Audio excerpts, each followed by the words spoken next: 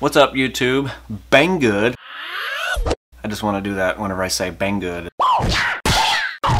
Whenever I say bang good, I think of the older kung fu fighting movies where their mouth moves a lot and only like one or two English words come out. So that's probably what I'm going to do with every Banggood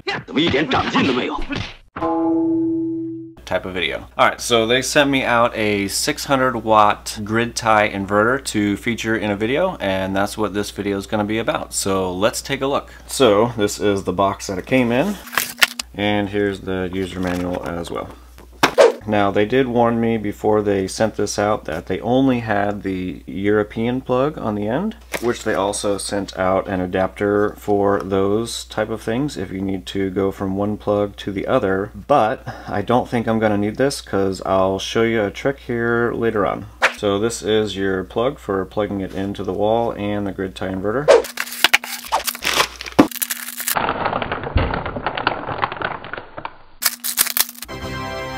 Alright, she is brand new, nice and shiny. Alright, so this is the grid tie inverter. It has an input voltage of 22 to 60 volts DC and the output says 170 to 260. Mostly that is overseas. Since I'm in the United States, it will do the 110 slash 120 volts that we use here. And this is the side with the on switch and all the lights. And I'll open up the manual to figure out exactly what each light does just so we're clear. And the opposite side has a couple of 30 amp fuses and your solar input. Here are a couple of the connectors that it does also supply with the grid tie inverter. These would be used for your solar input and that allows you to put your positive and negative wires into the connector itself and then you can tighten them down by the little screws on basically both sides. And then once you have your wire screwed down inside, you can just put this back over to protect the connector. Alright, so at the beginning I mentioned that the only model they had was the European style plug, which isn't really a problem anywhere because this is the standard power supply plug or a plug that goes into a TV, a computer monitor, or a computer, so you can technically use any one of those. I would suggest getting one that can handle over 600 watts, basically so you don't heat up any sort of wiring. I have one from a plasma TV and we all know how much power those suck so this one should work out just fine. And here's just a side-by-side -side with a European and a regular plug. They're all basically the same. The only thing that's different is this end.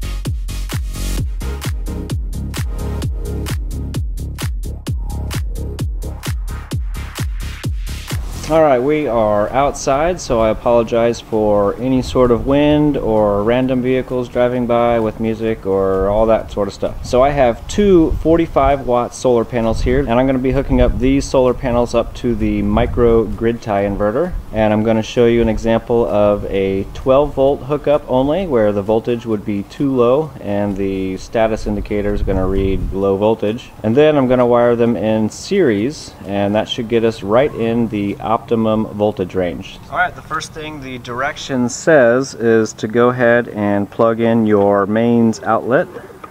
And I'm going to leave it unplugged from the wall until we get the solar panels hooked up because we do have the power switch here.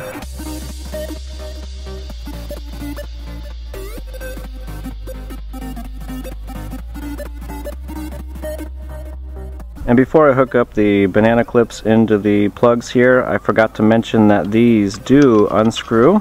So you can slip a terminal behind here and tighten them back up to make your solar panel connections. Alright, I'm going to go ahead and put the banana plug into their proper position and one thing I would suggest doing is make sure you have the correct ones going to the correct spot on the inverter. Alright, so I have a kilowatt meter here that I'll be plugging into. The other end is connected to a 50 foot extension cord plugged into one of the outlets on the outside of my house. And at this point, I'm just gonna go ahead and turn it on and we'll see what the indicators over here do.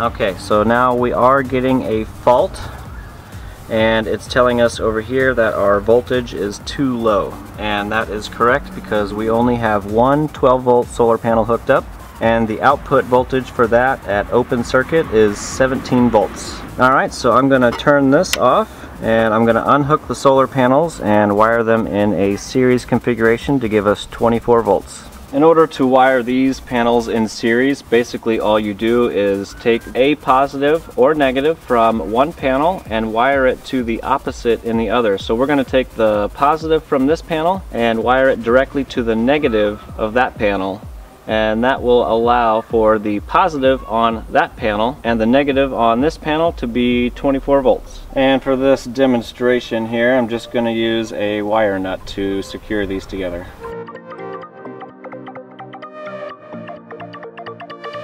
And we'll do one last check to make sure it is correctly wired in 24 volts. And we are outputting 34 volts and that is because we don't have any load hooked up which is perfect. That's exactly what we want. All right we still have the grid tie plugged into the outlet over here and now I'm just going to go ahead and hook up the solar panels Alright, now that we have the solar panels hooked up, I've got the kilowatt meter here, and these meters work in both directions as being used coming out and being pushed back into the grid. So I'm going to go ahead and turn the start switch on and we should see some blinky lights down here and I'll zoom in on that once we're on.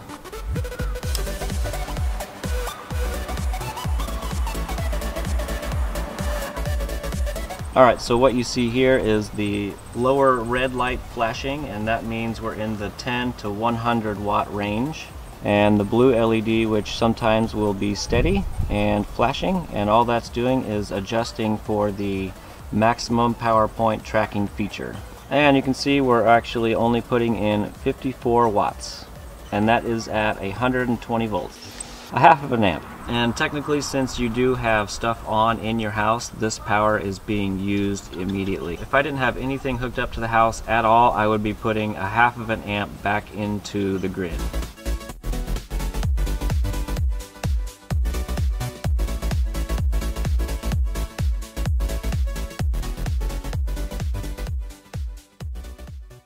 Alright, now I know that was a poor example because I only had two 12 volt panels and they're wired in series and it only gave me a total of 3 amps. I know, I know, I know, I know, but it was a demonstration right? Obviously, if you wanted to take full advantage of one of these grid tie inverters, you would probably want to start with 24 volt panels in the first place, and then probably try to get a little closer to the 600 watt range. I would imagine that it wouldn't be able to handle the full 600 watts, but I don't know, I wasn't gonna disconnect my other panels just to find out to see if it works, but maybe I'll try that in the future. Speaking of future, in some future videos, I do want to do some testing with this. All right, let, let me back up, let me back up. All right, so a grid tie inverter has a feature called island protection. What that does is whenever the power goes out and you are hooked up using that, and pushing power into the grid or using it, whatever, whatever the case may be. As soon as the power goes out, the inverter shuts off as well. And the reason it does that is if the grid is down, there could be a lineman working on whatever he's working on and you're out there trying to pump in electricity and he thinks the lines are dead. Guess what happens then? You would probably shock the out of them. So they shut down, which is a good thing. Which sucks because if you have a whole bunch of solar going through a grid tie inverter, then you can't use your power. Especially if it was in a storm or something and you really want your power. Alright, so what I have planned in the future is I want to hook up this grid tie inverter to a UPS. Really, that's the only reason because I have a UPS. If I had a regular pure sine wave inverter, I would use that, but I don't. So if you are grid tied and your power goes out, you could probably disconnect your main breaker from the grid So that is going to be a future video I plan to test. I have heard it does work, but I don't know if it actually does. So if you'd like to see that and you're not subscribed, make sure you hit the subscribe button and hit the little notification bell so you know when I upload a video next. Alright, so that was my poor demonstration of how a grid tie inverter works with two 12 volt panels because that's all I had left. Uh, what else? Um, so if your grid tie inverter that you ordered did not come with the correct wire, you could grab one out of a TV or anything else and use that. Or if you don't want to do that because you want to watch TV, you could definitely get one of these little adapters, one of these guys. Or you could get real fancy and get one of these guys. This guy does it all. I mean, I mean, it's a travel universal adapter. Oh, it has a surge protector too. It's a travel universal adapter with surge protector. And check out the backside, it's got all your options. And if you're in one of them crazy, crazy countries, you could do that. And on the top you have an unlock and lock. And you can also pull the Europe out. I don't know how the other stuff works but there's also some connectors there and the center thing. I'm not sure how those pop out quite yet. Let's put Europe back. But you could definitely get one of these to use with the grid tie inverter if you really wanted to. Would I use it? No. Alright, so that's all I really have left to tell you about the unit. Oh, wait, wait, wait, wait. I have one more thing to say. If you would like to find out more about the grid tie inverter and the universal adapters, click on the links down below. They will take you to Banggood.